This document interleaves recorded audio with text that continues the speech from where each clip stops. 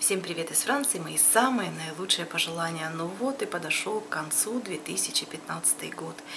Не буду говорить банальности, не буду вообще много говорить. Хочу только всех вас поблагодарить за то, что вы были со мной, за то, что вы сейчас со мной. И надеюсь, что вы будете со мной в новом 2016 году.